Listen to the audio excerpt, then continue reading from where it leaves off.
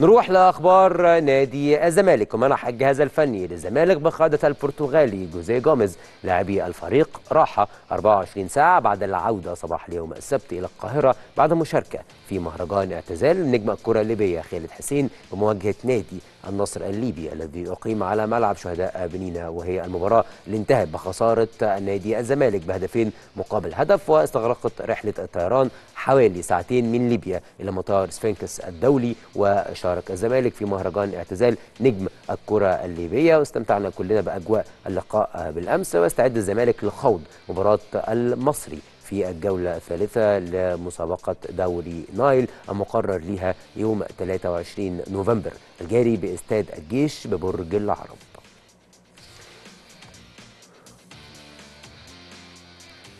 لسه مع أخبار نادي الزمالك وخبر مهم متعلق بالاتحاد الأفريقي الكاف واللي حدد يوم 8 نوفمبر الجاري موعد للنظر في الاستئناف الم... 18 نوفمبر الجاري آسف موعد يوم 18 نوفمبر الجاري للنظر في الاستئناف المقدم من الزمالك ضد العقوبة التي تم توقيعها على النادي بسبب الأحداث اللي كانت موجودة في نهائي بطولة الكونفدرالية الأفريقية أمام نهضة بركان المغربي. وراى مجلس إدارة نادي الزمالك أن العقوبة التي تم توقيعها على النادي مبالغ فيها بعض الشيء. لا سيما إن نادي الزمالك لم يكن مسؤولا عن إجراءات التنظيم في مباراة نهائي الكونفدرالية أمام فريق نهضة بركان مما دفع إدارة نادي الزمالك للتقدم بتظلم على عقوبات الاتحاد الأفريقي لكرة القدم قبل أن يتلقى ردا من كاف خلال الساعات القليلة الماضية. كان الاتحاد الأفريقي لكرة القدم كاف عاقب الزمالك بتغريمه 200 ألف دولار ومنح حضور ومنع حضور الجماهير في مباريات الأفريقية لمدة أربع مباريات منهم مباراتين مع إيقاف التنفيذ على خلفية الأحداث في مباراة النهائي الكونفدرالية ويستعد الزمالك لخوض مباراة بلاك بولز بطل موزمبيق في الجولة الأولى لمباريات دور المجموعات لبطولة كأس الكونفدرالية المقرر ليها يوم 27 نوفمبر الجاري بإستاد القاهرة الدولي.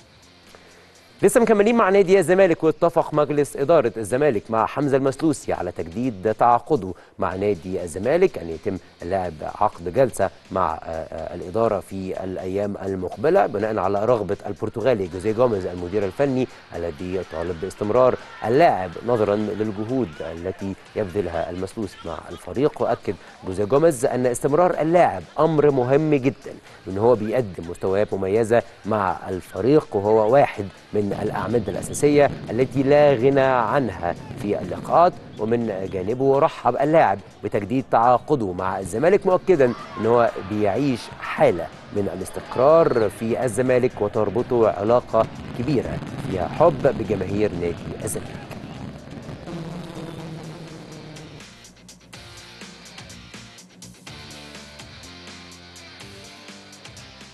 لسه مع نادي الزمالك حيث كشف الدكتور محمد أسامة رئيس الجهاز الطبي بنادي الزمالك على تطورات حالة محمود حمدي الونش. مدافع الفريق وقال أسامة أن محمود حمدي الونش انتهى من كافة الفترات التأهيلية التي كان يخضع لها خلال الفترة الماضية. وأوضح رئيس الجهاز الطبي لنادي الزمالك أن تم تجهيز مدافع نادي الزمالك من الناحية الطبية بشكل إيجابي على أعلى مستوى. وعاد الونش للمشاركة. في التدريبات الجماعية مع الزمالك في الفترة الماضية ويقوم الجهاز الفني للفريق بتجهيز اللاعب بشكل تدريجي قبل عودته للمشاركة في المباريات ودي لقطات من طبعا استعداد الونش في الأيام الماضية.